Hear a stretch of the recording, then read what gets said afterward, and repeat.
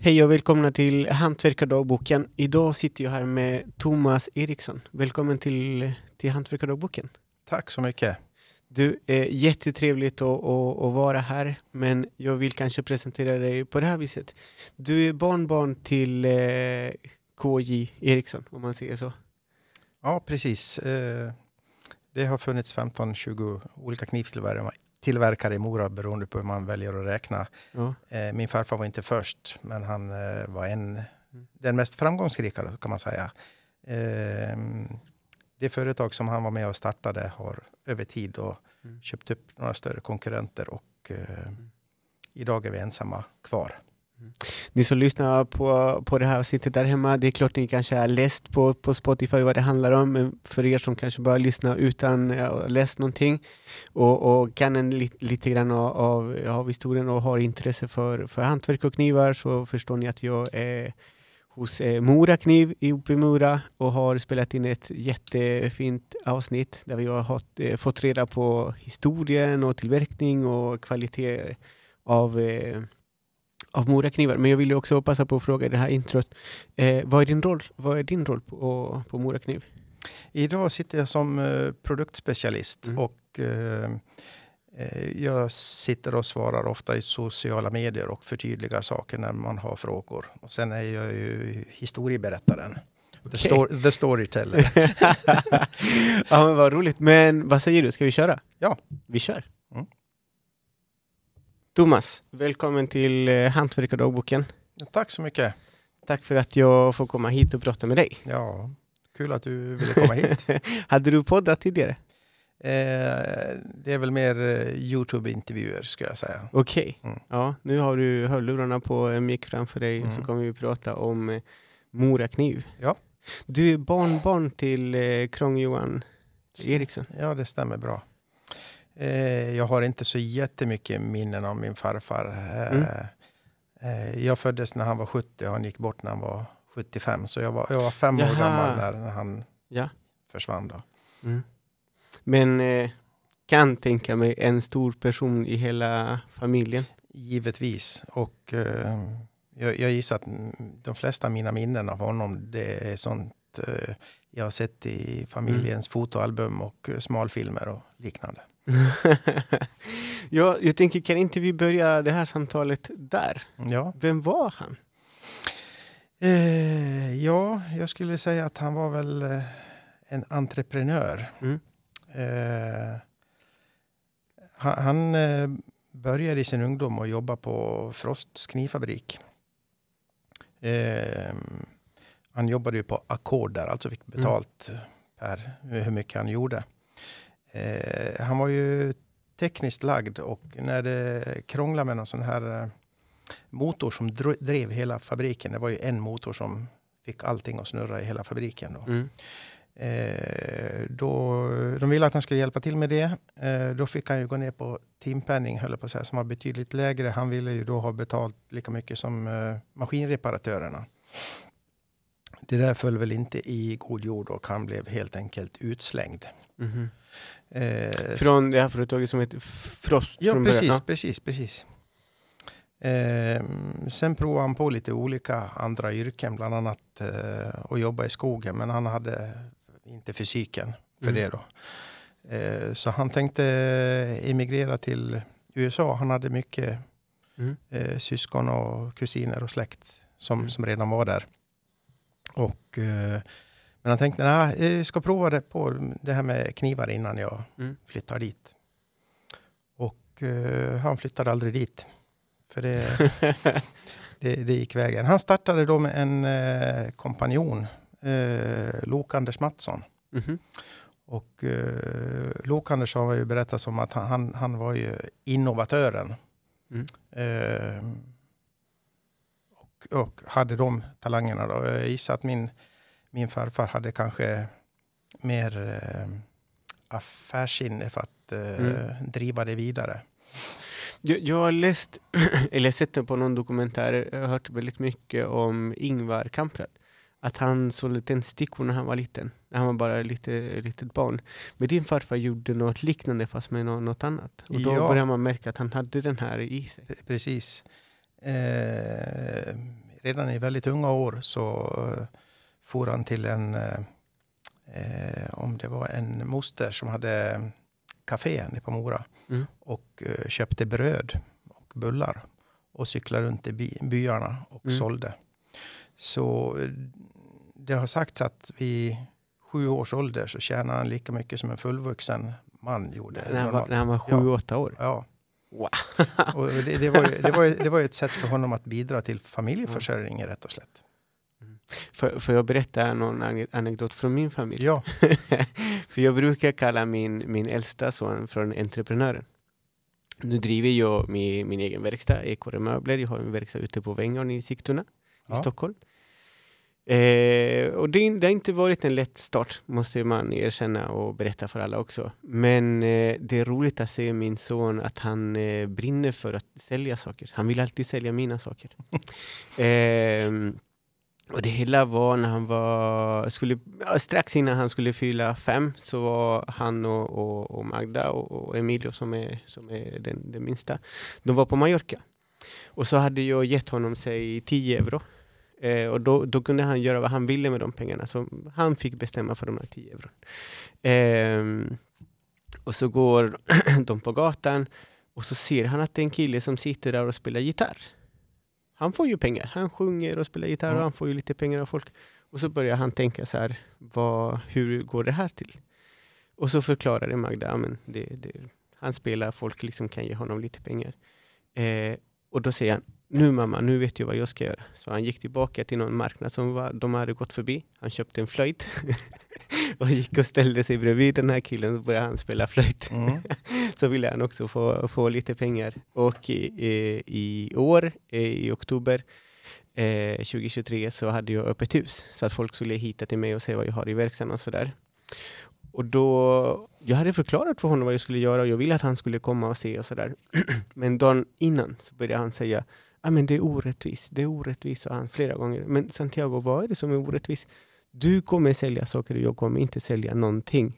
Vad är det du vill sälja? Ja, men jag vill sälja kanske mina leksaker. Jag vill ha, jag vill ha loppis, sa han. Så Mm. då, du kan ha öppet hus, men du, jag vill ha loppis. Så han fick lite grejer av mig. Och alla som kom och besökte mig under den dagen köpte väldigt mycket av honom. så då, vi och kallar honom för entreprenören. Han kommer Ja. jag göra så att jag säljer mina möbler i framtiden. ja, eh, härligt att höra. med, med tanke på hur det hela Mora kniv eh, liksom fortsätter. Ja. Eh, blir det sammanlagt 130 år? Ja, det har vi nog passerat. Mm. Eh, nu ska vi se här vad det är för år. Det blir väl 135 år nästa år. Nästa år 135 år? Wow. Ja, det är exakt det jag menar, liksom att det är hur det hela började, att han när han var sju, åtta år sålde Ja. bullar runt i byarna liksom och kunde försörja sig redan då. Jag ska säga att när eh, vi har 135-årsjubileum så Ja. är det eh, det året vi använder som begynnelse där, det är när Frost startade. Ja. Det har ju funnits 15 till 20 olika knivtillverkare här i Mm. bygden beroende på hur man väljer att räkna. Eh, min farfar var långt ifrån först. Han startade 1912 med sin kompanjon.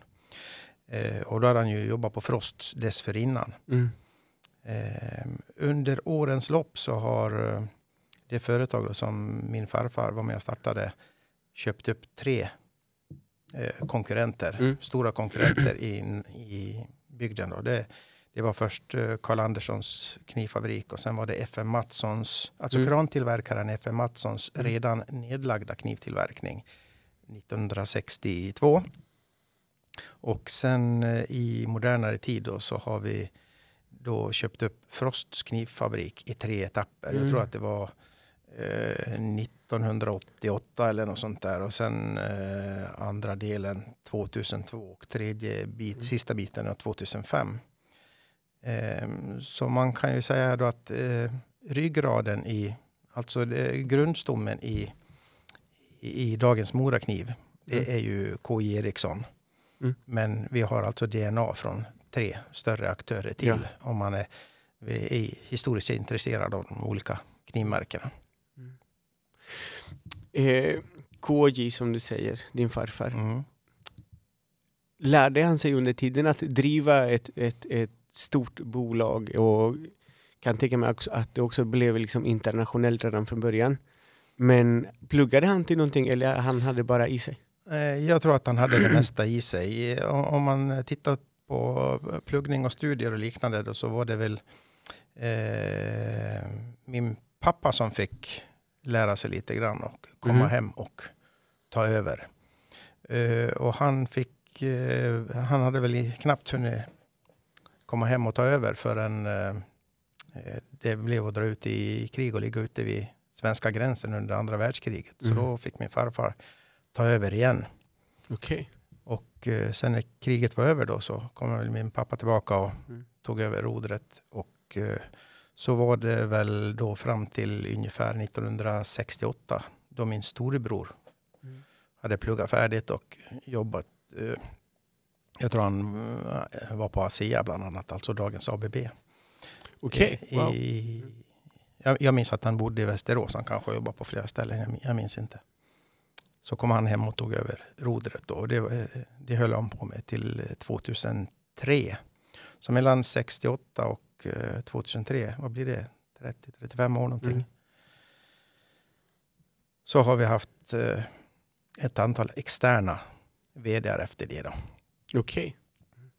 Men det är fortfarande liksom ett familjeföretag? Det ägs ju liksom av familjer? Ja, Liksom. det, det ägs av eh, ättlingar till Mm. Krång-Johan Eriksson.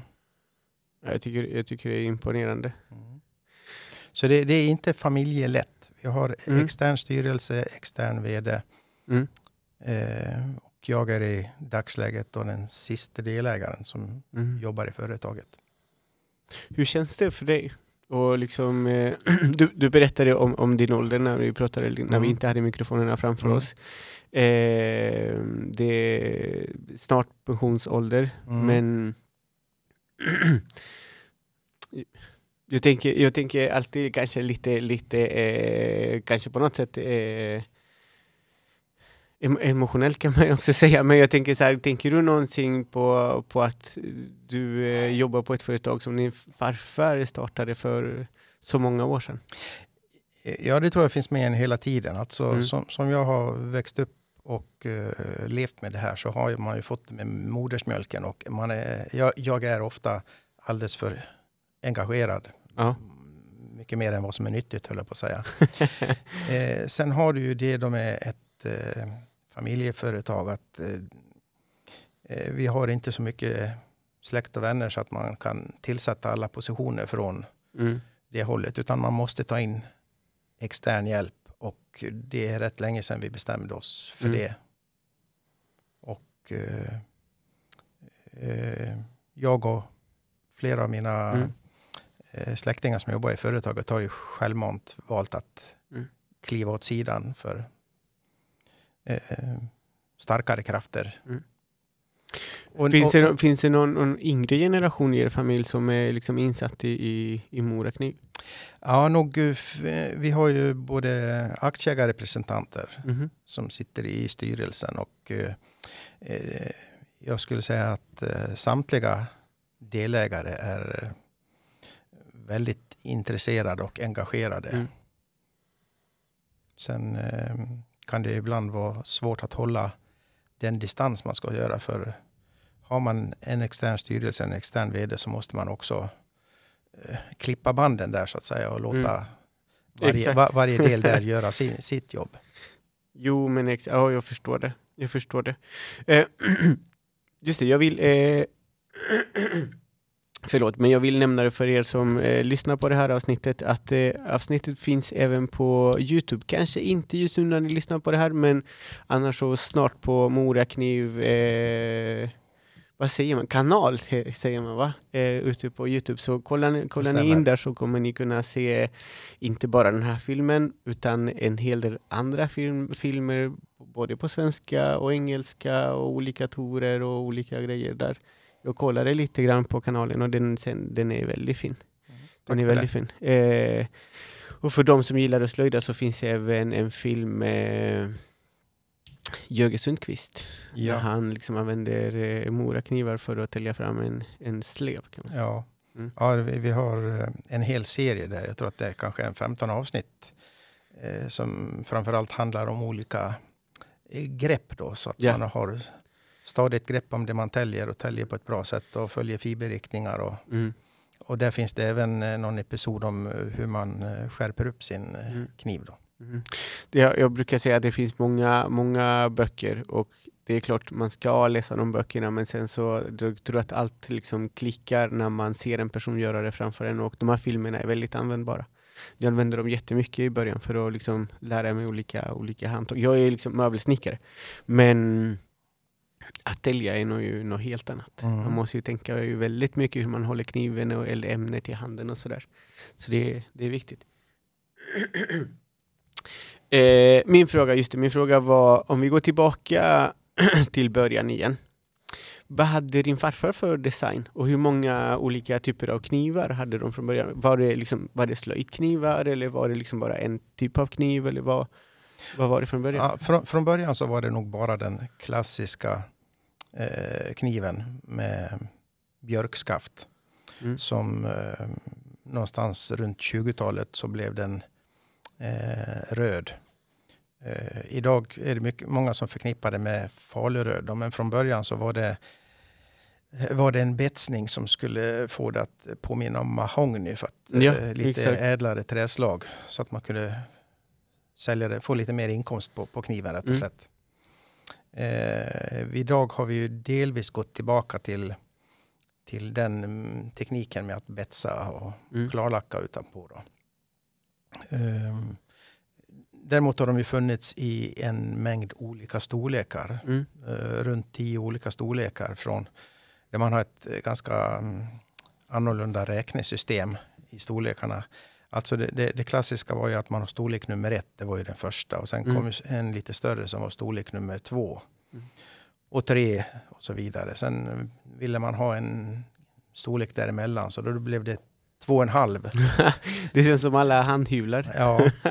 Och sen om du går från eh, storlek nummer ett och standardstorleken och går neråt så heter de 1-0, 2-0, 3-0 och 4-0. Och de, både de här 3-0 och 4-0 var ju så kallade pennknivar. Mm. När förra seklet var ungt. Så om man gick i skolan så hade man inte pennvässare utan det första vuxenbeviset du fick det var ju att du fick en liten sån här pennkniv som du kunde då vässa Är det sant? pennan i. Jajamensan. Wow! Sen eh, levde väl den vidare, ska jag säga, som, nästan som souvenir i stor utsträckning. Ja. För den är ju Ja. väldigt liten, fin och trevlig. Wow, det hade jag aldrig tänkt men det där visste inte jag. Ja, du kan ju tänka dig idag. Skicka med din sex eller sjuåring en kniv med till skolan. Tiderna förändras. Ja, men verkligen. Mm. Ja, kan du tänka dig? Liksom skicka ba- små barn med, ja men det här ska du liksom vässa din penna. Ja, det var en väldigt stor sak. Så det, det var ju, om, jag skulle säga att om du råkade skära dig på din lilla Mm. kniv så var det ju ingenting man visade. För man var ju rädd för att man skulle bli fråntagen. Så man, man var väldigt försiktig och noggrann med kniven. Mm.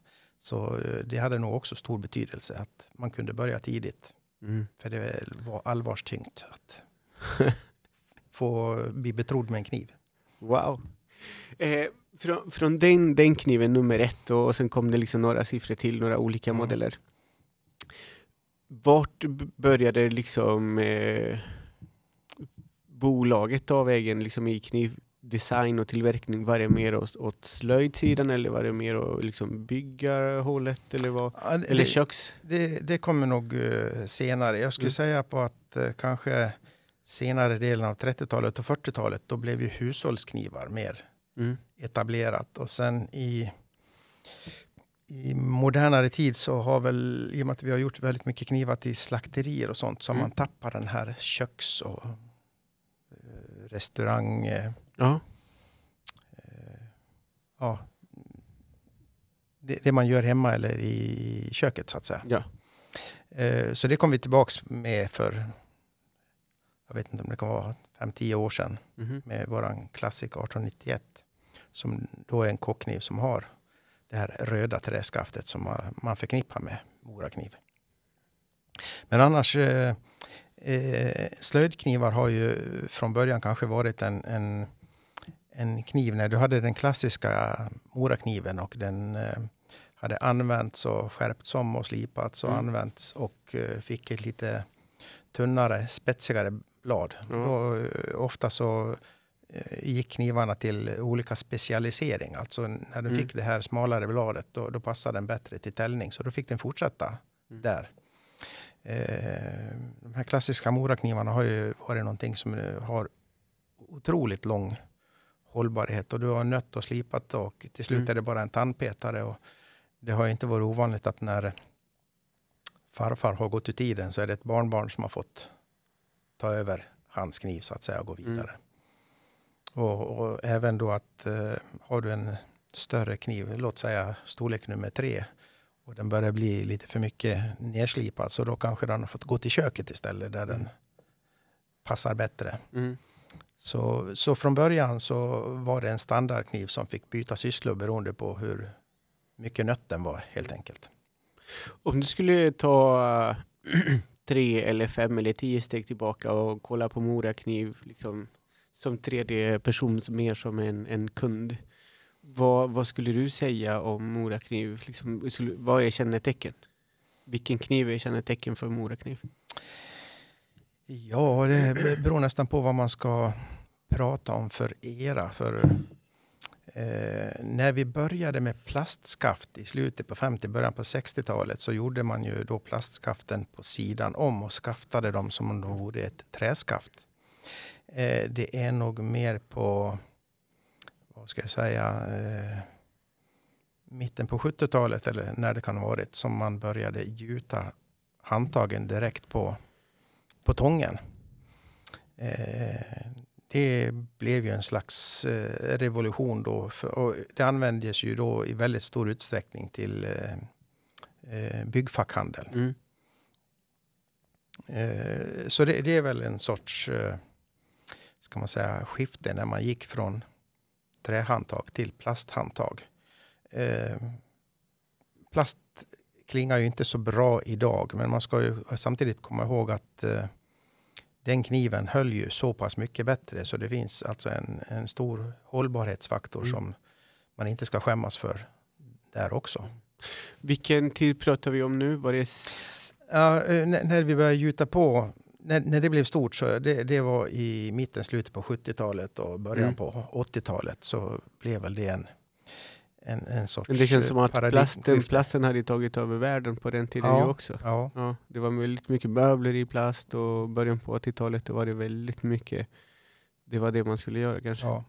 Och eh, vi får frågan till och från hur, hur kan vi göra så överkomliga knivar? Mm. Och det har väl då bland annat med att vi har följt med tiden vad som står till buds i material och annat. Och, eh, vi, vi har, det har alltså gjort att vi har kunnat göra rationellt göra många knivar till ett överkomligt pris.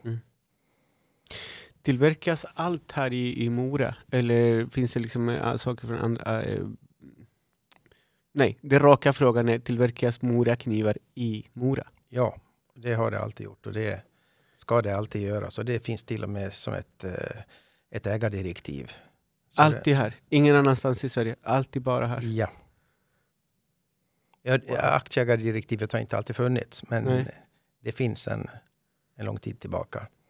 Wow. Ja, det, det är imponerande för det känns som att ehm, nu, nu är det bara jag som drar en reflektion här, men det känns på något sätt när, när företagen liksom eh, växer jättemycket och blir en, en, en känd varumärke över hela världen. Det är klart att ibland är det liksom eh, eh, svårt att hålla det hålla det liten liksom. Ja, Eh, som att det, man måste liksom ha en produktion som du kan sälja till alla dina återförsäljare i hela världen. Och det är svårt på något sätt att säga Ja, men vi, vi har ju bara fabriken i Mora. Vi kanske, ni kanske skulle kunna ha tre olika någon annanstans. Men ni Mm. satsar ju på, på, Nej, på det, liksom. det- Allt härifrån. tillverkningen ligger här. Ja. Sen är det klart att vi köper komponenter, ja. eh, ska jag säga, nitar och annat som Mm. kommer utanför Mora, Ja. givetvis. Mhm. Eh, men det finns väl en eh, ledstjärna där sedan länge också att eh, vi, vi försöker alltid köpa så nära vi kan av både etiska och praktiska skäl. Mm. Ja, men det är bra. Björken är ju också från... Eh... Ja, den är inte från Mora, den är från Jämtland. För ni har eh, massubjörk och så har ni liksom vanlig björk, ja. man ska säga. Mas kommer nog från Finland. Mm. Och sen så har ni börjat betsa några av eh, eh, handtagen. Ja, eh, våra klassikknivar idag är ju betsade och sen är det en hårdvaxolja på det då för att inte det ska färga av om du blir blöt mm. om händerna. Mm.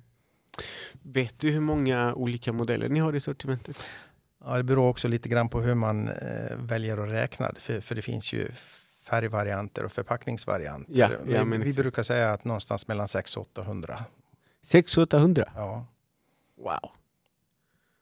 Jag pratade om min favoritkniv i alla fall. Eh, Nusnäskniven. Nusnäskniven. Ja. Det här handtaget, den älskar jag. Jag vet mm. att ni inte producerar under ett tag, men sen när, när, när det kom ute på hemsidan så köpte jag ett gäng. Jag, var, jag har varit i Chile för undervisning eh, i januari 2023 och nu i november 2023 och båda gångerna har jag åkt dit med just den kniven för att ge bort som, som present till de skolorna som jag har besökt och olika, olika personer. Så de finns där i Chile. Ja. Direkt från Mora till olika städer i Chile. Det låter bra. Till olika hantverkare. Ja, roligt. Men du, jag har en, en, en fråga, för jag tänker så här. Det fanns ju ett, ett gäng olika uh, företag som tillverkade knivar just på den tiden när, när din farfar, han var inte först. Som nej, så. nej, precis. Vad gjorde skillnaden? Vad gjorde liksom att, att de stack ut? Eh, ja, eh, jag har ingen konkret svar på, på den frågan. Men framförallt så ska man komma ihåg att det, det var ju i en annan tid. Eh, eh du kanske inte hade den finansiella styrkan så att eh, ska säga, lokala järnhandeln här i Mora, de eh, kanske tillhandahöll eh, knivstål eller någonting. Eh, och då skulle det betalas eh, i natura, alltså att man levererade tillbaks knivar till järnhandeln. Mm. Som man då eh, stämplade med järnhandelsnamn. Det var inte, stod inte K. Eriksson eller Eriksson och Mattsson på den kniven, utan det ja. stod, stod någonting annat. Wow. Jag tänker, eh, hur många anställda hade, hade de då? Vet du det? Ah, hur, hur många? När de började, var det... då, var, då, var, de bara två stycken. Så det var de som liksom var i produktion och ägde företaget och ja, drev, liksom ja, utvecklade och drev fram? Hur, hur många år var det så? Eh, det vet jag inte. Jag, jag, tror att ganska snart så behövde man hjälp av, av någon. Så det, mm. det kan hända att de tog in hjälp redan första året eller något av första åren. Det, det skulle mm. jag tro. För det är så många tempon. Däremot så kan jag berätta att eh, min farfar var aldrig rädd för att gå ut i produ produktionen och sätta sig. Mm. Och det, det, finns flera berättelser om det, till exempel under eh, kristiden, alltså eh, i slutet på 20-talet, början på 30-talet, så eh, gick han gärna ut och satte sig och slipa eller någonting av de andra. Mm. Han kunde smida också. Alltså, han hade varit med och gjort det här från början, så han kunde ju alla tempon och han visste vad som var viktigt och angeläget i varje, varje etapp. Nu kom jag på en grej, för att jag, jag har sett olika filmer på, på Youtube från olika företag, olika knivtillverkare och vissa av dem har en liten eh, som en slipband Eh, och där kan man ju liksom slippa sina knivar. Eller så har man en maskin som, som Tormek till exempel. På den tiden fanns ju varken det ena eller det andra. Mm. Hur, hur gjorde de då för att slippa knivar? Ja, det, det var ju slipstenar. Eh, det har nog inte varit så jättemycket. Med, Men var det, liksom, var det runda? Ja, runda stenar. Ja, okej. Okay. Mm. Ja. Och sen eh, givetvis då med mm, att eh, vattenbegjutning, så det slipades kallt. Mm. Nu, nu kommer jag på massa, massa grejer, så jag ursäkta om jag ställer en dum fråga, men jag har sett i någon bild, jag tror att det är från Frankrike, att folk som slipade på knivar, de låg på typ en bänk mm. på mage och sen så hade de det här liksom slip... Eh, ja, och stenen skiva som snurrar of, under. Ofta en hund som låg och värmde ben och rygg. ja men exakt. Mm. Var det likadant här eller hur gjorde man då? Uh, nej, uh, det har nog att göra med att man har nyttjat uh, vattenkraft Och då har vattenhjulets centrum legat så pass lågt så du har inte kunnat haft en sittande ställning utan du har fått ligga. Här Mm. har man i, då i, använt från början ångmaskiner och sen eh, råoljemotorer och, och liknande. Eh, så att du har haft en motor och då har kraften kommit uppifrån med en axel som har gått genom fabriken med remmar ner till varje maskin. Ja. Då har du Mm. kunnat sitta upprätt. Så det, det, det kan man nog säga då att jämfört med eh, de eh, knivtillverkarna nere i Europa så har de här i Mora haft en betydligt bättre arbetsställning. jo, men det stämmer ju. Men så de knivarna på den tiden, de man slipade dem för, för hand. Ja. Så liksom en, en person hade ett gäng, och din farfar också, och Mm. började liksom slippa knivar. Wow. Och det, det syns ju också då på de här, om man har gamla knivbladsämnen så ser man ju även att eh, när de snid, smidde knivbladet så eh, grovsmidde de med även äggvarvet så att inte det skulle vara så mycket att slipa. För det var, det var ju snabbare att smida till äggvarvet och ha lite mindre att slipa. Det, det var effektivare. Har du sett någon typ av dokument som din farfar skrev eller någon, någon medarbetare har skrivit om till exempel hur man skulle slipa knivar och vad man skulle tänka på i tillverkningen och så? Nej, det, det, det jag har sett det är eh, något dokument som är nog från 30-talet när eh, vi ska köpa slipstenar från Mhm. Gotland, Gotlandssten. Ja. Och eh, en, en, en slipsten, en, när det är natursten så kan den ju vara mer fin eller grovkornig och sånt där. Ja. Och eh, talesättet var då att om en slipsten var lat, då avverkade den lite så att säga. Den var väl för finkornig eller Ja. vad, vad det nu var för någonting. Mm. Och eh, där påtalar han då att han, han, eh, nu minns jag om han vill eller inte vill att det ska vara av det röda slaget. För eh, att bara titta på stenen så kunde man se hur lat eller Ja, okej, så de Och- kunde identifiera kornigheten på, på stenen? Ja. Och sen märktes det också när du använde stenar, speciellt när det var natur, natursten, att eh, på olika ställen i, i stenen så kunde den vara mjukare eller hårdare. Så Mm. till slut så blev den oval. Och, Ja. då, och då måste du riva stenen så det blir rund igen. Och då har du en massa sten du avverkar som du inte har kunnat få slipa och göra nytta med. Så det, det, det, blev ju en dyr sten om du måste hålla på och riva den hela tiden. Jo, men liksom, man måste ju rikta den så att det Ja, alltid håller sig plan och sådär. Ja.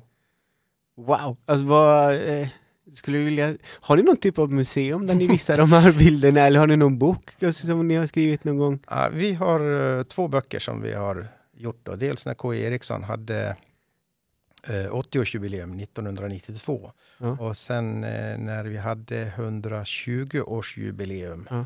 så skrev vi också en bok eh, som heter Från begrepp till varumärke som handlar just om att Morakniv då tidigare har varit ett begrepp men Ja. idag bevisat är ett varumärke. Varumärke. Mm. Internationell varumärke till och med. Till och med.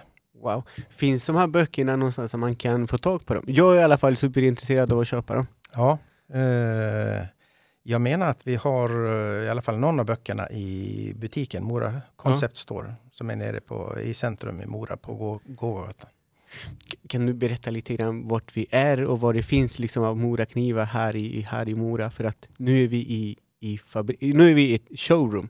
Ja, Det är här vi är. vi, Men, vi är i, källaren på ett eh, mötesrum då, som även är utställningsplats så att säga, Mm. i, i Östnorr på Bjäkenbacken som delen av byn heter, Mm. eh, strax utanför Mora. Där, så fabri- fabriken är 100 meter härifrån. kan vi gå och titta på det sen? Ja, det ska vi gå och Yes. titta på. Mm. Yes! Jag, jag, jag berättade ju för dig innan vi började spela in, men, men eh, att kalla en person för nörd i den här podcasten är det finaste komplimangen man kan få. Men jag är ju en erkänd nörd och jag frågar liksom om det mesta och det är klart jag gillar liksom eh, ta reda på små detaljer. Det, jag vet att det finns massor med hemligheter där vissa saker får man inte fota och sådär. Men det är alltid roligt att se och få reda på hur det hela började, hur det har utvecklats vad, och visioner för framtiden och vad man gör idag. Det är, På något sätt det, det är beundransvärt att man behåller liksom eh, sin som jag försökte sälja förut, liksom när man blir kanske internationellt varumärke. Det är lätt att tappa bort sig lite, men på något, det jag ser som, också som, vill jag säga, också som invandrare, jag som har bott i Sverige i 21 år, ser jag ett företag som Morakniv som en del av den svenska kulturen på något sätt. Det, och det, det, är roligt, det är jätteroligt för mig att vara här och få reda på liksom historien. Ja. När du berättar om, om, din farfar, när du berättar om, om din pappa, din eh, äldre bror till exempel, hur familjen har eh, bedrivit företaget. Ja, ja vi, vi, är eh, ska jag säga, väldigt förankrade i, i bygden och eh, när, när det är goda tider och man anställer folk så är det roligt och när, när det är sämre tider och man ska skicka iväg folk, det är ju andra sidan av samma mynt så att säga. Eh, så är ju det väldigt trist och eh, då känner i alla fall jag att man har kanske onödigt stort socialt ansvar eller medkänsla. Mm. Eh, för vi lever så nära varandra och jag skulle säga att alla som jobbar här är ju en del av Moraknivfamiljen. Ja. Likväl som eh, alla våra knivanvändare där ute är också en del av Moraknivfamiljen. Mm.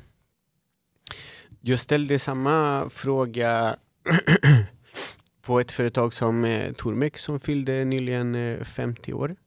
Jag ställde samma fråga hos Sjöberg som eh, de är 101 år gamla. Men förstår folk från Mora innebörden av Morakniv? Liksom på något sätt. Jag vet att det finns andra saker som drar hit folk som eh, Vasaloppet och så, men vi är nog lite hemmablinda, det, det, det, det tror så? jag. Ja. Eh, och det märks också på, på andra saker som till exempel eh, allt från eh, miljöansvar och resursansvar. Ja. Eh, jag har eh, utländska säljkollegor som tycker att vi är alldeles för dåliga på att tala om hur att vi ver verkligen lever som vi lär. Alltså när man går förbi här ute på fabriksgården så står det alltså stora eh, skräpcontainrar. Men det står en för rostfritt stål, det står en för kolstål, det står en för blandskrot, det står en för brännbart, det står en för plast som ska återvinnas och så vidare och så vidare. Och så finns det också sånt inne i fabriken. Eh, när man till exempel slipar knivar så eh, du slipar ju bort stål. Det blir ju som ett stålmjöl ja, i, i slipvattnet. För vi, vi måste ju sli, eh, kyla kniven så inte den blir överhettad. Ja. I det här stålmjölet, och speciellt när man använder rostfritt stål, så är det ju 10-15 procent krom. Krom är en tungmetall. Mm. Eh, tidigare så har vi fått betala för lämna det på deponi. Mm. Idag så har vi ett slutet system där eh, där vi filtrerar och tar ut den här eh, ja, slipgeggan, jag vet inte vad jag ska kalla det. Mm.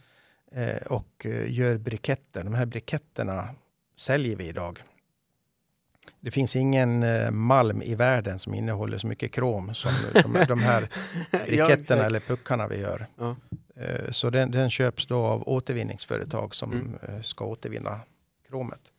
Nu ska jag väl säga att eh, vårt reningsverk där, det, det, kostar mer i drift än vad, vad vi får för de här eh, briketterna. Å andra sidan så slipper vi betala för deponi. Men jag skulle mm. säga att den största vinsten... Det, åter, det återanvänds ju. Ja, ja, den största vinsten är ju att, att det inte går ut i naturen, höll på att säga, på, på mm. fel sätt och att eh, det, det, är cirkulärt, det återanvänds. Mm. Och det, och vi kan då sträcka på oss lite grann och tala om att vi lever faktiskt som vi lär. Ja, det fint. Jag, kan, jag kan ju tänka mig liksom ju större företag, desto mer ansvar måste man ju ta mm. för miljön och för anställda och för liksom det mesta. men det, det här är roligt, men eh, jag känner mig riktigt, riktigt stolt i, i mitt lilla snickeri som är på 60 kvadratmeter. Eh, jag brukar alltid samla liksom, maskinmaterial på en, en, en, påse eller en, liksom en jättestor eh, låda. Eh, och sen eh, massivt trä i, en- i en Ikea-påse. Mm. Så där brukar jag kasta det och sen när den börjar fyllas, liksom kommer liksom ungefär upp, så tar jag en bild på det och så eh, har vi en eh, chatt i, i, för de som är medlemmar i Sigtuna Golfklubb. Det är ett gäng som vi spelar golf på onsdagar. Eh, så jag brukar posta en bild på, ja det finns, eh, det finns ved brukar jag skriva Mm. och den första som nappar kommer till verkstaden och hämtar påsen och tar med sig en påse. Så de lämnar en påse och de med sig hem eh, en hel Jag, kan kasse med ved kan man Ja. säga. jag, jag, jag kan säga där också att eh, eh, Moraknivens eh, linda, alltså eh, Mm. vagga, eh, de, kniv, de företag som började göra knivar började Mm. inte med kniv från början, utan de gjorde timmerdoning, alltså så kallade timmerkälkar, som du då var i skogen på vintern i slutet på 1800-talet för att ta timmer ur skogen. Nu, nu eh, måste du förklara och berätta lite grann. För, vad tim, timmerkälkar, vad, vad är det för något? Ja, det, det, med häst och släde så tog man alltså ja, okej. Nu tog, tog, ja. man, tog man alltså timret ur skogen för att kunna köra det Ja. till ett sågverk eller där du skulle timra ett hus eller vad du nu skulle göra Ja. med timret. Mm. Eh, här norr om Dalälven så har vi inte de här hårda träslagen som ek. Nej. Eh, så det hårdaste vi har här det är ju björk. Så de här medarna de var ju i björk och sen var de skodda med järnbeslag där det slets extra mycket. Då. Så de här eh, verkstäderna som gjorde timmerkälkar för att dra med Mm. häst. Eh, de behövde ju även tälja till mycket där, så de gjorde ju sina egna knivar. För de hade sin smedja, de hade Mm. sin björk, de hade sitt järn och stål. Eh, de här knivarna de gjorde för egen tillverkning, de hade ett sånt bruksvärde så till slut så började de göra dem för att sälja. Mm. Så både Erik Frost och Bud Karl Andersson har börjat med timmerkälkar. Och sen för att sen helt gå över till knivtillverkning. Wow. Och det, det var ju ett sätt att å, återvinna spillvirket från björken till exempel. Mm. Kälkens smedar. Wow. Nu kanske jag blandar ihop två saker, du får rätta mig. Men vem var det som producerade de här isborren? Ja, det, eh, från första början så var det Bud Karl Andersson som gjorde skopan. Mhm. Eh, kallas ibland för skeden. Och, eh, varumärket var Moraborren. Moraborren, ja. Mm. Och sen då när K. Eriksson köpte upp eh, Bud Karl Andersson 1961 så fick vi den borren med på köpet så att säga. ja. Den borren eh, funkade ju bra i istjocklekar upp till 1-2 decimeter. Sen, ja. Det var ingenting som tog ur sörjan så det, det började gå tungt efter ett Ah, tag. okej. Ja. Så eh, jag tror att det var finländarna som var först med att sätta på en spiral så att man eh, hade transportskruv. Exakt. Och eh, jag tror att det kan vara någon gång i mitten, på, mitten slutet på 60-talet som vi satte på transportskruv också. Och eh, fick upp sörjan ur, ur hålet. Och eh, det har ju varit en stor nisch för, för K. Eriksson i många, många år. Och en del av framgångsfaktorerna där var ju tack vare att många av våra medarbetare var ju hängivna isfiskare och visste hur olika isen kan vara och förstod vad som var Mm. viktigt. Och eh, när de var ute och fiskade på fritiden så testade de också och förstod skillnaderna och vad man måste förbättra. Mm. Och eh, nu vet inte jag, det är väl någonstans mellan fem och tio år sedan som vi sålde vår isborrstillverkning till finländska Rappala. Är det sant? Ja, så att eh, till för ett år sedan så tillverkade vi isborrskär, men det, det slutade vi med till nyår 2002. Då. Wow. Så vi, vi har hållit på med, med skär, en vital del till isborren, väldigt länge. Många år efter att vi sålde isborrstillverkningen för övrigt. Wow. Det, här- det här visste inte jag. Mm. Wow, vad, vilken, vilken grej. Och sen att det liksom blev en grej från Mora och nu är det Rappare som är också jätte, väldigt känd varumärke Ja. inom fiske. Mm. Wow. Under de här, det kanske finns ett dokument. Eh, och du är väldigt insatt i liksom historien av Morakniv och så. Men om man tänker kanske så här, första, andra eller tredje året, vet du hur många knivar de producerar då? Har du något? Nå, Koll på det? Eh, nej, eh, Frost började ju Eh, de, de har ju startår eh, 1889. Men jag tror att man kanske inte gjorde knivar förrän 1891 eller någonting. Och sen har jag sett en siffra på, jag kommer inte ihåg exakt år, men säg att det är 1901 eller 1904. Då gjorde man 19 000 knivar på ett år. 19 000 knivar på ett år. Ja. Idag så gör vi mellan 15 och 20 000 knivar på en dag. Förlåt, men... Jag vet att man inte får säga så, men lägg av. på en dag? Ja. Så hur, många, hur, hur mycket är det per år? Det är miljoner? Eh, ja, ja, ja. Eh, nu ligger det väl runt 3 miljoner knivar per år. Mm. Under pandemin när det gick genom taket, då var vi väl uppe i 5 miljoner, miljoner knivar på ett år. Fem miljoner?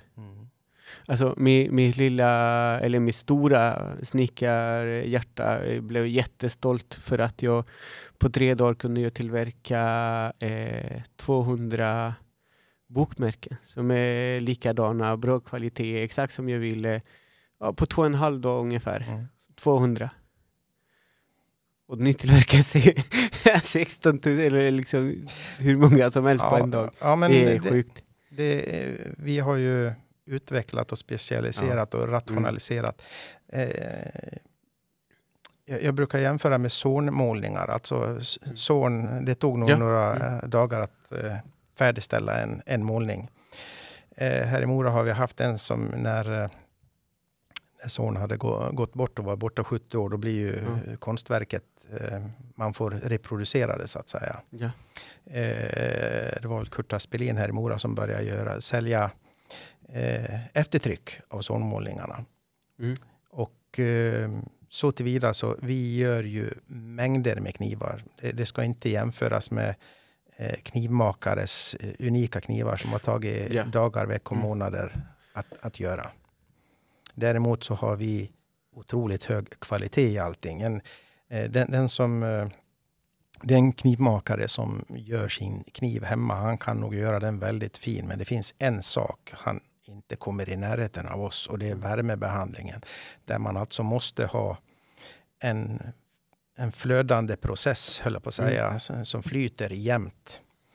Eh, för att få optimal, alltså du kan ju köpa det finaste stål, men du kan sabotera det. Jag förstör allting med att du inte värmebehandlar på rätt sätt. Och du kan förstöra allting eh, i, i slipningen om du inte kan kyla och slipa på rätt sätt.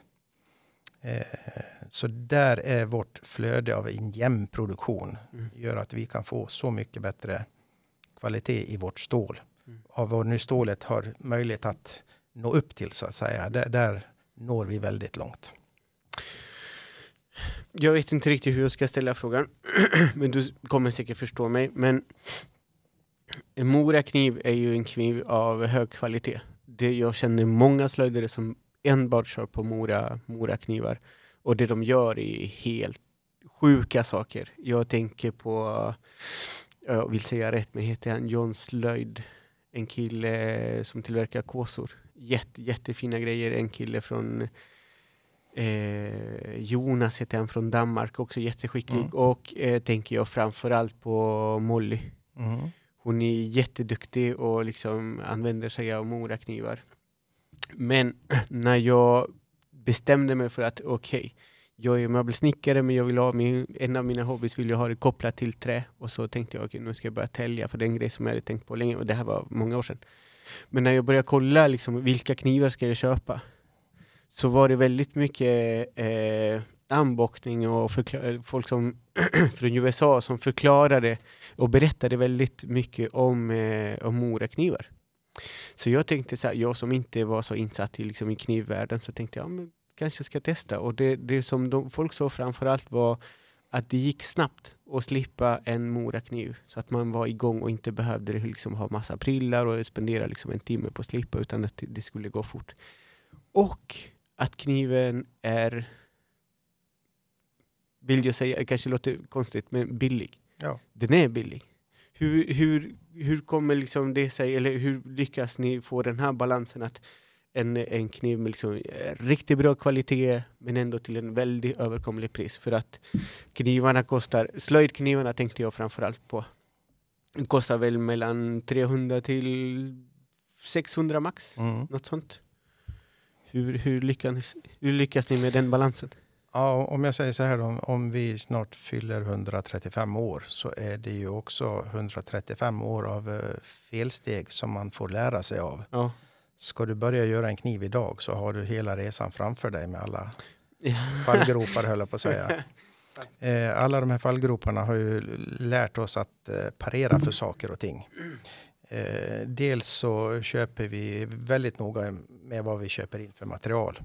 Och sen har vi ju rigorös kontroll i alla led vad vi gör med produkten så att ingenting ska gå fel.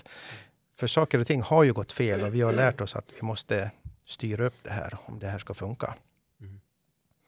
Så eh, bra råmaterial och eh, kunniga, duktiga medarbetare. Alltså, tittar du ut i produktionen idag så finns det väldigt gott om robotar. Vi, Ja. vi, är eh, förhållandevis robottäta idag, men vi har också eh, rent manuella handarbeten på, på, på jobb. Alla knivar med träskaft skaftas till exempel Mm. Manuellt. En, del säger att robotar är bra, de uh, vabbar inte, de eh, ska inte ha semester eller någonting annat. Det ligger väl en sanning i det, men eh, jag har aldrig sett en robot som har kommit med ett förbättringsförslag. Vi Nej. måste ha Mm. innovativa, eh, duktiga, kluriga medarbetare som kan hjälpa oss framåt, för annars kommer omvärlden och kör förbi. Fint sagt. Mm, Fint sagt. För att det, det är klart, det, liksom, det går ju mycket fortare med robotar, men eh, de... eh, De kommer aldrig med ett förbättringsförslag. Ja men exakt, jag kan tänka mig att de här förbättringarna är ju liksom både för produkten och i produktionen, hur Mm. saker och ting ska göras. Vad har ni för, eh, vad säger man, åldern i, i, i fabriken av alla anställda, vet du det? Eh, nej, det vet jag faktiskt inte. Eller om jag får fråga, fråga så här, den yngsta och den äldsta? Eh, ja, de äldsta ligger nog på eh, 68 tror jag. Wow. 68 Ja. år. Eh, de yngsta kanske är 20. Wow! 20, Så 23. det finns den åldersspannen Oh, i? oh ja, oh ja. Wow. Ja, vad häftigt. Jag är superpepp på att gå in till och se tillverkning och fabriken. ja. Och jag- är glad över att se hur eh, en stor majoritet är väldigt stolt av att vara en del i, i det hela. Ja. Hur många anställda har ni, har ni idag? jag tror att det är runt 130. 130 personer. Hur många av dem är det som jobbar i produktion? Mm, nu är jag lite dåligt påläst här. Eh, vad skulle jag säga? Eh, Minst 100 då i alla fall. Ja, exakt. 110 kanske. Och resten jobbar vi liksom med allt som man... Ekonomi Ja, ad- och admi- marknadsföring. Administration, säljning. Alltså vi, vi, jag har ju kollegor som bor ute i världen. Ja. Ja. Ja, det, det är häftigt. Du nämnde också eh, att ni tillverkade ungefär fem miljoner eh, knivar under pandemin. Ja, Eh, per, per år. Ja. per år, Mm. per år un, under, under, pa- Mm. under pandemin. Jag tänker ju liksom på, på två saker. Eller vilka typer av knivar var det ni sålde mest? Det var ju väldigt mycket outdoor och även en hel del slöjd. Eh, Mm.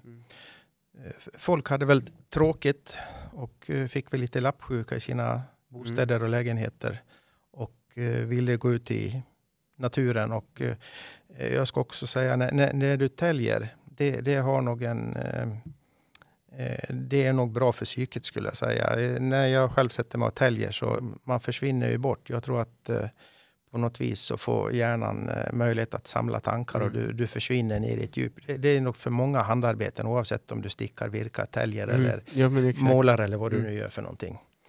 Eh, så jag, jag tror att eh, det, det spelar oss i händerna lite grann Mm. där. Ja, Men det, det, det är ju jättebra när folk går ut i naturen och får lite frisk luft och inte bara sitter inne höll jag på att säga. ja. Och även täljer lite grann och mår lite bättre. Mm. Det där kan jag bara hålla med om. För att jag, jag brukar tälja när barnen sover. Mm. Då brukar jag sitta på min stol och liksom tälja fram grejer och gör ganska mycket i verkstaden och sen så brukar jag avsluta dem hemma. Mm. Och det, gör jag, det där gör jag för, för mig själv. Det är ingenting jag säljer i princip. Jag lär ut en del. Men eh, jag brukar ge bort dem. Skedarna som jag tillverkar till familjen, till kompisar eller liksom så här. Ska jag vara på semester någonstans så brukar jag ta med mig någonting och tälja där under tiden. De ser hela processen och sen så lämnar jag den där skeden där oavsett till eller skål eller vad det kan vara. Mm. Det känns som att folk får, eh, får en annan förståelse för saker och ting då. Ja. Att det här har Sebastian liksom från en träbit med en yxa och typ tre, fyra olika knivar så har han liksom täljt fram det här och lämnat Mm. det här för oss. Det är roligt. Det är Ja, liksom det är en, jätte, jätte, en jättefin, jättefin känsla. Jag vet flera som refererar till täljningen som en sorts meditation. Ja, jo. Jo, ibland eh, åker kniven liksom i fingrarna. Mm. det är en annan typ av meditation. Men eh, jag kan ju bara hålla med om det. Liksom det. Jag tänker inte på något annat, eller jag tänker inte på så mycket när jag sitter och täljer. Jag Mm. som... Eh, om, om, man ska, om jag ska berätta någonting om mig, jag har ju svårt att, att sova, för jag tänker för mycket hela tiden och det och det här och det andra. Och nu när, när jag är i den punkten jag är i mitt liv, att jag har bestämt mig för att driva eget företag som inte alltid är så enkelt och ibland så är det svårt att folk hittar till mina kurser eller hittar till mina produkter och sådär och det är klart man tänker mycket men sitter jag och täljer så är det liksom kanske det är det enda jag tänker på. Mm. Så det jo, lite, väldigt mycket meditation finns det i det liksom på något sätt. Att hitta, hitta tillbaka till lugnet. Ehm, du nämnde lite grann eh, knivtillverkare, liksom de som gillar att tillverka knivar som, som hobby. Mm. Det går ju att köpa era blad också. Ja, precis. Så de kan man ju köpa loss och skaftet kan man ju liksom eh, tillverka själv. Ja. För ibland det finns många slöjdare som gillar lite längre skaft, har jag, har jag Mm. märkt. Och personer som Molly till exempel, som jag nämnde precis, och bara täljer, liksom karvar i själva skaftet. Ja. för det, det gör väldigt många. Ja, det, eh, om man tittar på eh, handtagen till eh, slöjdknivarna så är de ju ofta lite väl tilltagna för att eh, ge möjlighet till grepp och så. Då. Men, men även eh, har du lite mindre händer så är det ju bara att mönstra upp den som du själv tycker. Ja, exakt. Mm. För att få lite bättre det, det, det finns material att ta av om du vill minska handtaget så att säga. Exakt. Ja, jag, jag som sagt, jag, jag älskar de andra knivar också, men jag föredrar det här nussnäskniven. Mm. Jag älsk, älskar den kniven. Ehm, för att, ja exakt, där kan man ju liksom dekorera skaften, man kan ju köpa lös bladet liksom med, med moraknivskvalitet och så kan man ju liksom göra sin egen kniv Ja. av de där. Ja, det, det är häftigt. Vet du vilket land är det ni exporterar mest knivar till? Ja, jag får säga att det, det är nog till USA. Och eh, inte minst då för att, eh, jag ska lägga till då att vi har ju rätt många olika affärsområden. Det är ju inte bara scoutknivar och, och Mm. byggknivar vi gör, utan slöjdknivar och jaktknivar och eh, överlevnadsknivar och Mm. kockknivar och inte minst då slaktknivar, alltså det Mm. är yrkesknivar för stora slakterier. Eh, så Ni, ni har en, jag måste säga, ni har en väldigt enkel eller lätt att hitta på er hemsida. Jag har sett liksom för, företag som har väldigt mycket produkter och ibland så blir man lite så förvirrad av allt som finns. Men på er hemsida är det väldigt lätt att hitta till, till Moraknivhistorien, till den typ av blogg ni har, samarbete med olika hantverkare eller slöjdare. Eh, men till, framförallt till produkterna och då finns alltid en liten förklaring till dem och sådär. Så, okej, tack. Det, Jo, det, men det, ska, alltså, det ska jag berätta för de som håller på med hemsidan. Det, alltså det, det kanske är som, som eh, någonting man inte pratar om, men det, det är så... Nu när jag jobbat väldigt mycket med min hemsida, för för mig är det självklart att jag trycker här och där, så hittar man till den här möbeln, men hur ska jag uppleva den här hemsidan som en kund? Mm. De måste hitta på två eller tre klick så måste du hitta rätt. Och inte liksom tio klick så att man hittar rätt. Och på, på er hemsida är ungefär samma sak. Så här. Det, är, det är bra, det brukar, jag- jag brukar alltid Mm, liksom ha, ha som exempel olika, olika företag och ni, ni är, är en av dem. Men jag tänker, knivarna har ju utvecklats även under tiden. Men i, om jag jag pratar väldigt mycket om slöjdknivar. Jag vet att ni har så mycket, så mycket mer. Men om vi fortsätter på det spåret, ni har ju pratat med två olika slöjdare, med Jörgen Sundqvist och eh, Bett Moen. Bett Moen, Mm. eh, för att utveckla knivar. Hur gick det, det samarbetet och, och när var det? Eh, ja, senaste gången så var det nog när vi höll på att uppdatera våra skedknivar. Mm. Eh, för att få dem att fungera så bra som möjligt. Mm. Eh, vi jobbar ju, när det är knivar då som eh, har sina entusiaster och slutanvändare, då, då vill vi gärna ha någon form av ambassadör som är kunnig och framstående där som vi kan även som dels eh, ja, visar och pratar för vår sak, men även hjälper oss att utveckla och tala om att det här måste vi tänka på, det här måste vi förbättra. Så då, eh, det är ju inte svårt alls. Det är bara att eh, jobba med, med produkten i fråga och sen eh, fråga vad, vad, vad är det vi ska förbättra här. Och det är ju så enkelt att det finns ingen ambassadör som vill stå bakom någonting om de inte tror på det själva. Exakt. Mm. Och det... För mig känns det som att... Nu, nu- ska vi se om, vi når fram till våra lyssnare nu. Eh, som, är, som är rätt många, märkte jag när jag kollade statistiken. Men eh, det känns som att alla i Sverige, eller alla, ja, det, jag skulle vilja säga som kanske så här 90 procent, det kanske är lite sjukt, men alla har haft en morakniv i handen. Ja, det ska jag tro att det är. Och alla vet vad en morakniv är. Jo men exakt. Mm. Det... Är inte det lite sjukt? Det, det, det är en tanke som värmer, i alla fall för mig. jo men alltså hur många miljoner är vi i Sverige nu? Säg 10 Ja, miljoner. ja. Alltså nio och en halv Mm. har ju haft en, en morakniv i handen. Den första kniven man fick i slöjden. För, för jag växte inte upp här i Sverige så jag hade inte, inte den, den möjligheten men eh, mina barn kommer få det och syrrans barn som är lite äldre, de har ju fått det i slöjden. Mm. Det känns som att de flesta i Sverige har ju haft en, en på ett eller ett annat sätt en morakniv i, i familjen. Liksom. Ja, det, det är ju som en del i Sveriges varumärke. Jo men exakt. För det, vad kallas det för när man får en, en eh, är det hovmästar... Det är någonting från, som kommer från typ eh, kungen. Ja, ja, vi, Mm. vi är... ehm, Eh, när man tappar ordet här. Jag, jag minns inte vad, vad det heter men det är när man är så leverantör till, eh, Ja, till så- hovet. till hovet. Det, Mm.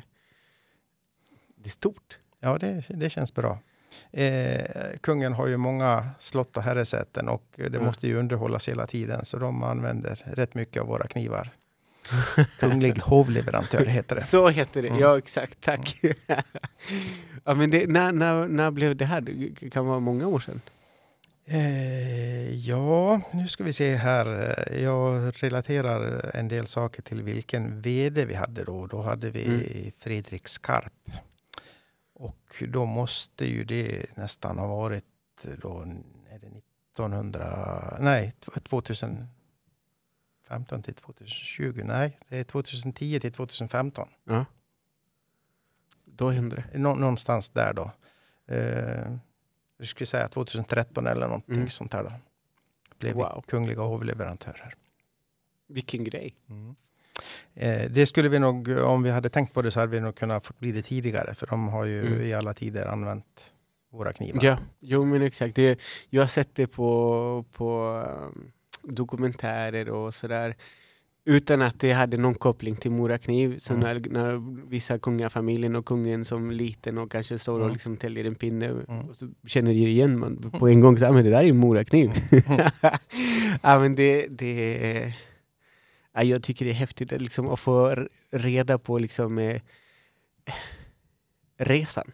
Ja. Det är inte alltid liksom det rakaste vägen, men det är att man har lyckats. Att man liksom eh, blir som ja, svensk varumärke, liksom en del av eh, liksom, svensk kultur Mm. på något sätt. Det känns som att det, jag vet inte om, om, om jag uttrycker mig rätt nu, men det det är väldigt folkligt på något sätt. Det är liksom eh, när, man, när man pratar om, om, om traditioner eller om presenter, någonting som är typiskt från, från Sverige, tänker man ju också, också på en morakniv. Mm, det får vi också ofta höra att vi är en del av. För eh, mycket av det svenskaste kommer från Dalarna. Och Ja. eh, mycket av det kommer även från Mora. Alltså, vi har ju dalahästar och Mm. allt möjligt och Vasaloppet och allting som går Ja. i mål här.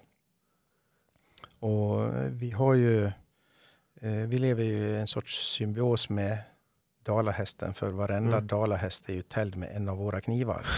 Skulle precis säga, Mm. de har ju moraknivar. Ja, ja, det, det är riktigt häftigt. Ehm, så det var i USA, det landet som kan- ni kanske exporterar mest till. ja, Och er försäljning, liksom, om, om ni, är det väldigt mycket i Sverige liksom, eller till resten av världen? Ja, det är uppemot 75 procent. Alltså det, det, det är minst två tredjedelar, kanske tre fjärdedelar export. Wow! Så 75 procent är liksom... Ja, och till eh, stora delar av världen. Vi har inte många vita fläckar på kartan. Wow!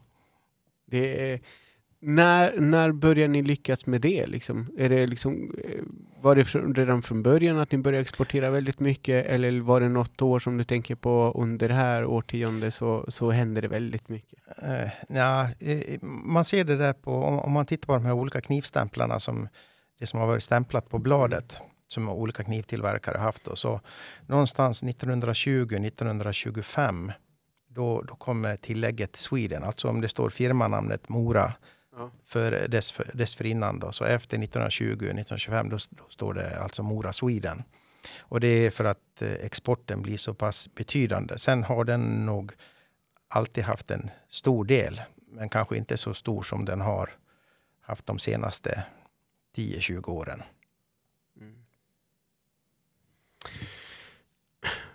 Hur gammal är den äldsta kniven, den äldsta morakniven du har? Ja, jag skulle gissa att den är från 1910-1915 någonting. Så över 100 år? Ja, Wow, och vad har den för stämpel?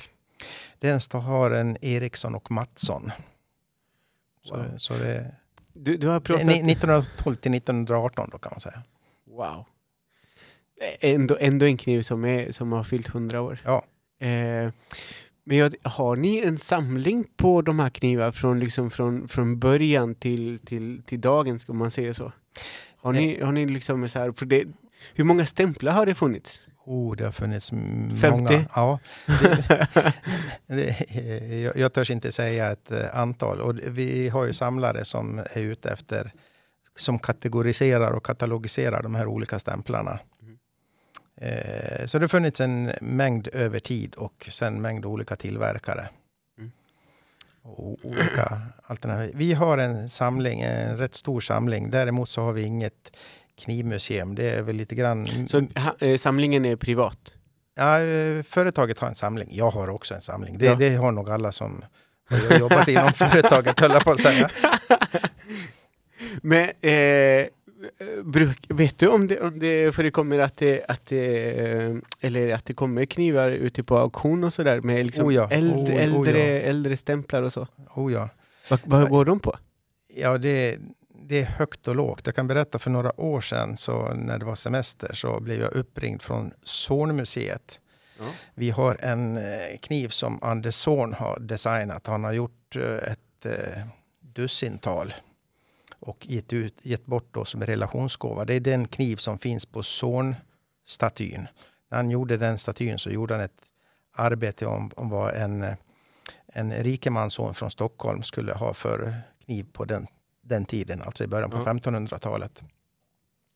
Sen lät han göra eh, ett antal knivar. Då. Alla är, eh, påminner om varandra men är individuellt, har skillnader så att säga. De är individuella. Eh, då hade det kommit ut en, eh, en eh, kniv på en auktion på Stockholms auktionsbyrå. Ja.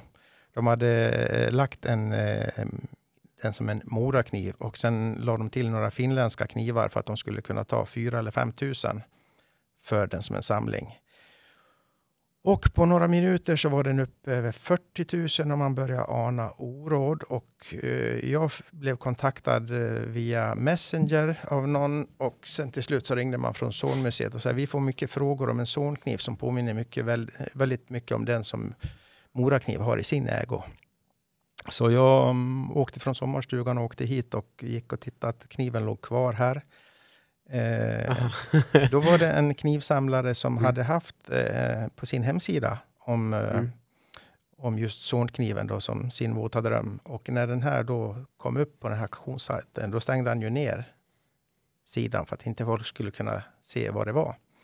Så jag tror att han eh, betalade i runda slängar 100 000 för den kniven då. Sen har han dessutom skrivit en bok om alla olika zonknivar och vem som har gjort vad och allting. Så jag gissar att han har både två och tredubbla värdet på, på kniven med den dokumentationen. Wow! Mm. Vad- vet du vad, vad den boken heter? Ja, den, eh, vi, har en, vi har en boken här. Jag tror att den kanske till och med finns att köpa i, i knivbutiken. Så du, men, är du menar slut. att jag ska åka hem med tre böcker?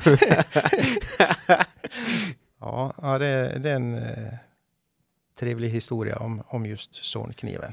wow, så det, det händer att knivarna kommer liksom på auktion? Oh ja, oh ja. Och det, det är väl ett extremfall med så mycket. Men Ja. eh, det är många kniv, fina knivar som går mellan 5 och 25 000 kronor styck. Det, det är inte alls speciellt ovanligt. Wow! Mm.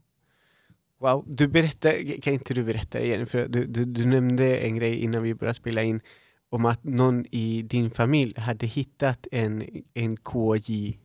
Ja, det, det var min eh, storebror som eh, när han hade väl pluggat färdigt, kanske gjort militärtjänst och sånt där då innan han skulle börja jobba så var han eh, på någon solsemester nere på Capri tror jag det var med några bekanta. Och eh, de bodde väl inhysta hos någon familj där och eh, blev ombedda att hjälpa till och städa ur någon källare eller någonting. Och där hittade han en KI-kniv och det tyckte jag han var rätt kul. Då. Det här var väl gissningsvis tidigt 1960-tal. Mm. Och han kom hem och berättade för vår farfar att han hade hittat en sån kniv där på, på Capri. Varpå min farfar då myste och, och sa, jag tänk att de hittar runt och vart det upp till alla håll och kanter i världen. Wow. Så han, han var rätt stolt över att den hade ta- tagit sig dit. Och det finns flera liknande historier. Wow. Ja, men det, det kan jag tänka mig eftersom ni börjar också exportera rätt så tidigt. Så de här äldre knivar som kanske går på, säg 30 000, Mm. då kanske finns i något, något hörn i, i andra länder, Oh, liksom, oh ja. i, ute i världen. Mm. Sådär. De, de äldre knivar tänker jag på. Ja. Ka- Kanske här i absolut. Sverige har man mycket bättre koll på vad det var. Men Ja, då, kanske det- det- inte utomlands. Jag skulle säga att eh, i, i gamla hus, eh, källare, eh, snickarverkstäder, eh, i fäbodar. Mm. Det sitter i härbreknutarna och uthusknutarna och Mm. eh, vid, vid öppenspisen och allting så finns det väldigt mycket fina gamla knivar. Wow. Som kan vara värda en slant. Eh, det, det, jag vet eh, folk eh, som, utomlands som åker hit bara för att gå på loppisar och leta morakniv.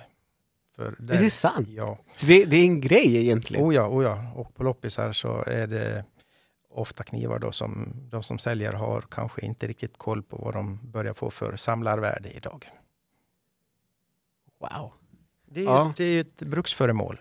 Så det är det man ska göra på sommaren? Ja. Ut och, ut och leta efter moraknivar på loppis.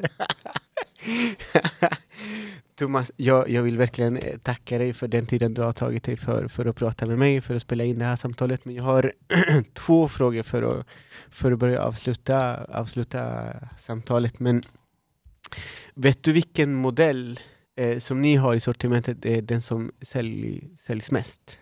Eh, ja, när det kommer till antal så är det ju då en eh, lite mer eh, lågprisad kniv och det, det är Basic 511 som i antal. Basics 511. Ja, Jag, ska, jag, vet, jag har inte det, det modellen i huvudet, men jag ska kolla lite grann här Ja. bakom dig sen och se vilken, vilken modell det är. Eh, så det, det, är inte, det är inte en slöjdkniv, utan det Nej, är nej. en annan typ av kniv. eh, det finns två knivar som kommer eh, Mm. som god två och trea. Ja. Och, eh, vi har ju den klassiska Mora 2000 som alltså är eh, en jakt, eh, frilufts, vildmarkskniv. Som jag tror den lanserades 1991. Och det är nog den i särklass mest sålda jaktkniven i Skandinavien. Så den mest sålda jaktkniv i Skandinavien är en morakniv? Wow. ja, det är klart, jag, eh, det finns ju liksom en stor och självklart anledning varför jag, jag ville komma hit och ville spela Ja. in med det, men jag, efter det här samtalet är jag bara mer, eh, mer och mer imponerad över, över Eh, allt du berättat. trea där sku, skulle jag gissa att det är en, eh, en filékniv för livsmedelsindustrin. Som, som, som till 95 procent går till USA. Jaha, wow. Mm. Så det 95 procent, så den säljs inte så mycket här i Sverige? Nej. Vad är det för filékniv? Ja, det är en eh, filékniv som har ett bra ergonomiskt grepp och den finns med, med fyra olika mm, ska säga, flexibilitet på bladet. Det, det är samma geometri, Ja. kontur på den, men den har alltså slipats eh, så, så tvärsnittet är lite olika längs kniven. Så det, den finns från styv till extra flexibel. Den extra Mm. flexibla den klarar, klarar till exempel 90 graders böjning och går tillbaka och är ra- rak. Det På det, ja, det, 90, 90 dollar? 90 grader. Det var det enkla Wow. testet. Det svåra testet är att den ska klara 45 grader plus minus 60 000 gånger. 60 000 gånger? Mm. Wow. Och det gör... Den, den här kniven måste jag se. Den måste du visa för mig. ja, eh, hemligheten där lite grann är att eh, vi har ett väldigt eh, bra rostfritt stål, svenskt rostfritt stål, som vi då värmebehandlar efter konstens, rigoröst, Mm. efter konstens alla regler och sen är väldigt noga när vi slipar så att inte vi får någon eh, överhettning när vi slipar eller Mm. någonting. Eh, då kan vi få fram. Och eh, när, när det gäller den här tåligheten, då skulle jag säga att eh, vi är världsledande och det finns ingen tvåa, trea, fyra. Så pass bra så att slakt, en del slakterier, när de har använt den i en viss tid, så säljer de den, har ett andrahandsvärde, så de säljer till mindre slakterier. Och inte minst, då, det, det sämsta som kan hända, eller värsta som kan hända för en livsmedelsproducent, det är till exempel att en slaktkniv går av och man, man ehm, inte hittar spetsen. Mm. Och det kommer in och barnmat, alltså det skulle vara förödande för. Mm. Ja men exakt. Eh, alla knivar går av förr eller senare om de får böjas tillräckligt mycket, men våra klarar sig så mycket längre så att slakterierna har lägre försäkringspremie om de använder våra knivar. Wow. Wow, jag är helt så här... jo men alltså att det är en produkt, att man har gått... Okej, okay, Okej, jag tar det här som exempel. Jag berättade för en liten stund sedan att jag kände mig så eh, stolt och gick som, som en tupp när jag liksom räknade ut att det är ungefär 200 bokmärken som jag tillverkar. Och jag tänker så här, eh, längre in på ena, på ena kanten så ska det vara smalare så att jag inte förstöra boken och sen så ska jag fräsa en, eh, en radie på andra sidan så att boken liksom hittar till varandra, liksom, eller så här, bladen hittar till varandra så att den här är inte så invasiv i boken och förstör boken och sådär. Och det är klart man tänker på så, många, så mycket detaljer där och att det är en produkt och att det är gjort i trä och det är gjort för handlare. Men att till exempel eh, som du berättar, liksom, den här kniven klarar av så pass mycket så att liksom, försäkringarna och grejer också påverkar ju liksom ett, Mm. ett, helt, ett helt hantverk, liksom ett Ja. yrke. Beroende på vilka kniv man använder sig av och att ni har tagit er tid att utveckla just en sån kniv. Det ja, wow.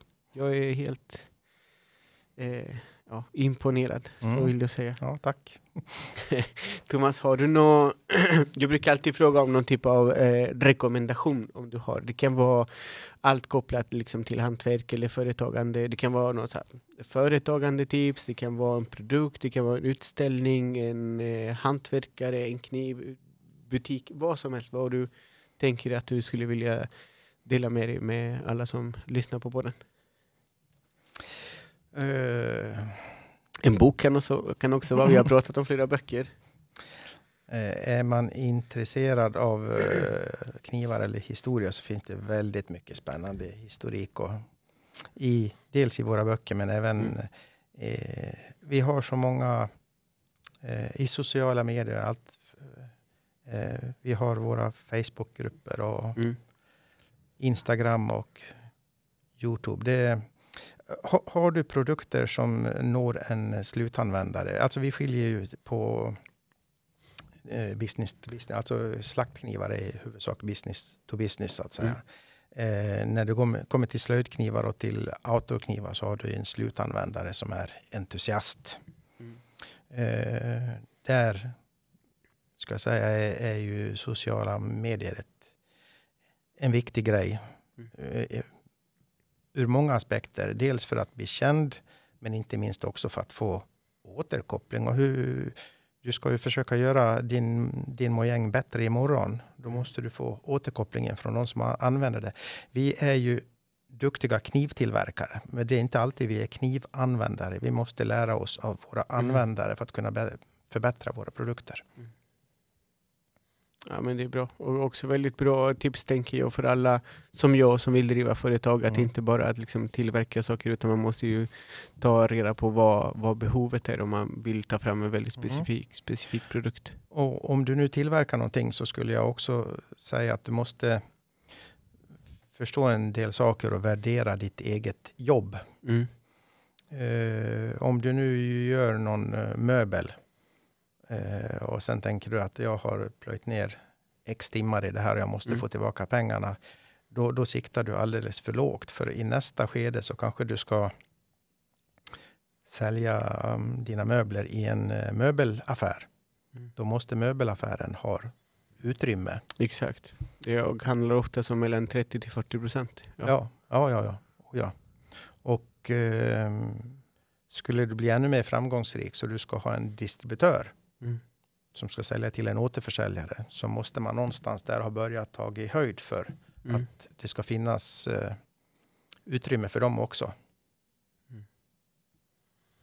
Ja, det är väldigt mycket att tänka på som, Mm. som företagare. Vad man ska göra, vad man ska investera, när man ska investera och på vad. Ja, Eh, det är inte helt fel att bara sälja på, på webben för då har du inte mellanhänderna. Exakt. Men har du tagit det beslutet och eh, fått en eh, prisnivå som är svår att ändra på, Mm. då, då eh, är du fast där. Det behöver Mm. inte vara fel. Mm. Men eh, det är ju så svårt att säga hur världen ser ut om fem eller tio år. Jo, exakt. Mm. Du Thomas, tack igen Mm. för att du har tagit dig tid och, och tagit eh, emot mig. Ja, Eh, tack här. för att du ville komma hit. för mig var det självklarhet. Det var liksom bara en, en fråga om tid när det skulle ske och nu eh, händer det. Eh, Ja. Jätteroligt. Eh, jag åkte eh, lite sen från, från Stockholm igår, kom till ett hotell här i Mora. Eh, tack för det vill jag säga. Gå upp tidigt på morgonen, äta frukost och komma direkt till, till Mora Kniv och kunna se snart, eh, eller höra väldigt mycket om, om er historia och er, er dagbok och, och se snart eh, produktionen. Det, det här är riktigt spännande. Så jag tackar alla lyssnare som gör att podden lever vidare och att eh, podden gör att jag kan resa runt lite grann i Sverige och ta, mycket, eh, ta reda på mer om ja, svensk kultur och, och hantverk framför allt. Eh, ni som lyssnar på den här podden där hemma, kom ihåg att ni kan titta på, podden, eller på det här avsnitt. Det, det har eh, spelat in både ljud och bild, så ni kan kolla på Youtube, Morakniv eh, kanal på Youtube, där kan ni kolla. Eh, eller så har ni bara lyssnat på, på det här samtalet. Kom ihåg att följa på Hantverkardagboken på Instagram, det är det enda sociala medier vi, vi har, eller podden har. Eh, och så finns det på Spotify där man kan eh, följa och betygsätta podden. Så än så länge när jag kollade förra veckan så hade vi betyg 4,9 av fem möjliga. Så Det, nästan, det låter bra. nästan den stora silvermedalj om det skulle vara ett gesällprov. Mm. eh, Thomas, återigen tack så hemskt mycket och alla ni som lyssnar, vi hörs snart. Hej då! Hej då.